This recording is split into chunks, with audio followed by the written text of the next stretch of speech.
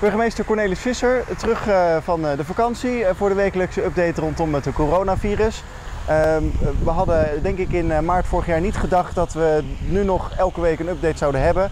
We gaan er in ieder geval nog even mee door, want het virus is nog niet het land uit en ook nog niet Katwijk uit. Ik begin even met de eerste vraag. De stand van zaken, hoe gaat het met het aantal besmettingen?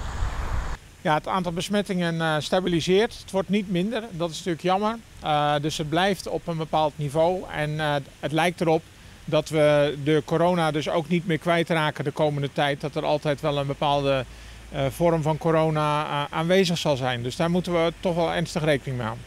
Het zegt vaccineren is de oplossing. Katwijk loopt nog steeds iets achter met het regiogemiddelde. Hoe ver ligt dat uiteen? Nou, vaccineren is de oplossing in zoverre dat je dan het corona blijft, maar uh, uh, vaccineren zorgt ervoor dat je minder ziek ervan wordt. Dus dat het meer als een griep is dan dat je echt daadwerkelijk naar het ziekenhuis of uh, naar de IC zou moeten. En uh, ja, het vaccinatieniveau in Katwijk blijft wat achter. We zitten op ruim 60 procent. En dat is helaas toch lager dan in de rest van de regio. Dus we doen ons best om dat uh, omhoog te krijgen. Maar het is uiteindelijk een keuze van mensen. Maar het heeft natuurlijk wel consequenties. Het heeft consequenties dat we moeten blijven testen. Dat we moeten blijven, als je toegang willen naar evenementen enzovoort. Dus uh, ja, daar kiezen we dan met elkaar voor. Ja. De grote bulk aan mensen die, uh, die, die, die, gevaccineerd willen worden, die is inmiddels achter de rug.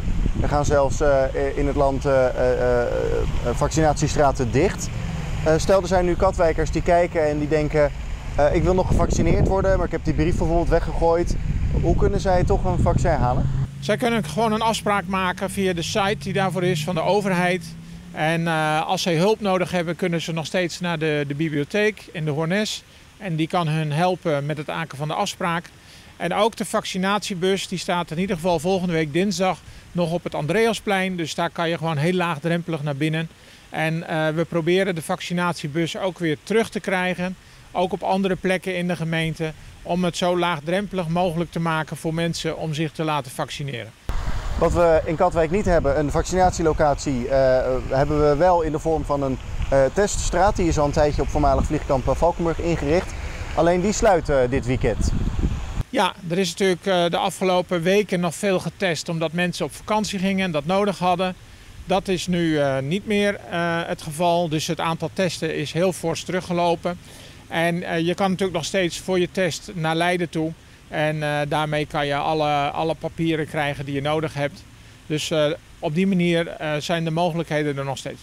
De, de, NOS heeft uitgezocht dat Nederlanders die verder van een GGD-testlocatie wonen zich minder vaak laten testen.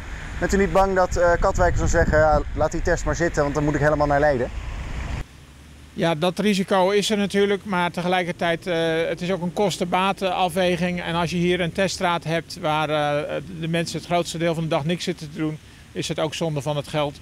Dus uh, ja, die afweging is gemaakt. En op het moment dat mensen gevaccineerd zijn, hoeven ze zich natuurlijk ook eigenlijk niet te laten testen. Dus hè, die groep die daarvoor in aanmerking komt, is ook steeds kleiner geworden. Het was niet zo druk op, op, op testlocatie Valkenburg, als ik het begrijp. Nou, het was nog, nog druk met vakantiehangers, maar dat houdt nu op.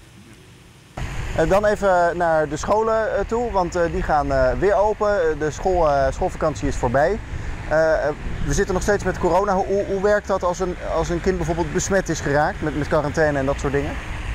Nou, bij een gezin is het zo dat als een van de gezinsleden besmet is, dat de anderen die gevaccineerd zijn niet in quarantaine hoeven. Degenen die niet gevaccineerd zijn, die moeten wel in quarantaine. Hoe het precies op de scholen gaat werken, weet ik niet.